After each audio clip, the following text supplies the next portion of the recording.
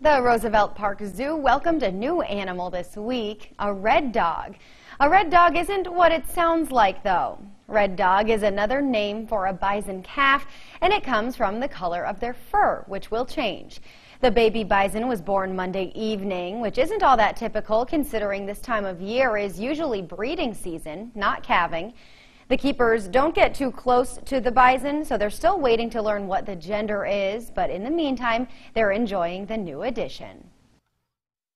It's always exciting to have babies just because like it's a baby and you get to watch it actually grow up a little bit too. The calf's parents, Ole and Lena, come from Big Sky Ranch in Deering, and that's where the calves will go to join the herd there. This bison calf is Lena's eighth since she's been at the zoo. She's been there for eight years.